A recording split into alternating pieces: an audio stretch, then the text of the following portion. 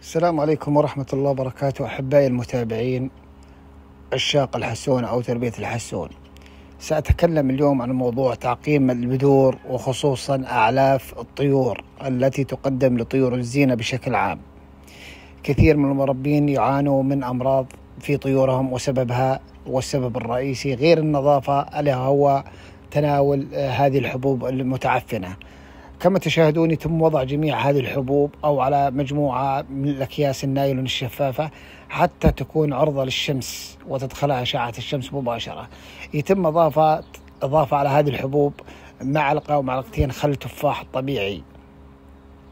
وتحكم هذه الأكياس تحكيم جيد وتوضع تحت أشعة الشمس مباشرة لمدة لا تقل عن أربع ساعات وخصوصا في أيام الصيف في درجة الحرارة العالية حيث تقوم أشعة الشمس بتطهير هذه الحبوب من أي تعفنات أو من أي أمراض أو بكتيريا موجودة داخلها.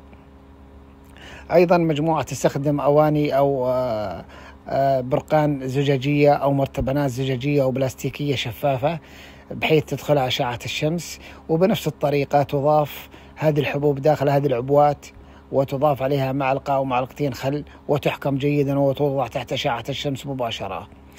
بعد مرور أربع ساعات أو خمس ساعات على وضعها يتم تفريغها في أماكن جافة جدا وتقدم للطيور وبهذه الحالة نكون قد انتهينا من موضوع التعفن والفطريات داخل هذه الحبوب ونقدم لطيورنا حبوب نظيفة خالية من جميع الشوائب إن شاء الله.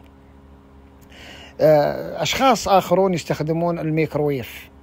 من يتواجد عنده الميكروويف يوضع هذه الحبوب داخل أواني حديدية أو زجاجية وتفرغ داخل هذه الأواني وتوضع داخل الميكروويف لمدة ثلاث أو أربع دقائق حيث تتعرض لدرجات حرارة عالية جدا. آه، بعد ذلك يتم تفريغها وتنقيتها ووضعها داخل آه، المعالف للطيور وتقدم بشكل يومي. وهذه طريقتين هما الناجحتان في تعقيم هذه البذور وتقديمها للطيور. راجيا من الجميع مشاركتنا والاشتراك في قناتنا ليصلكم كل جديد إن شاء الله. مع تحياتي للجميع إن شاء الله. وموسم قادم جميل للكل. تحياتي. والسلام عليكم ورحمة الله.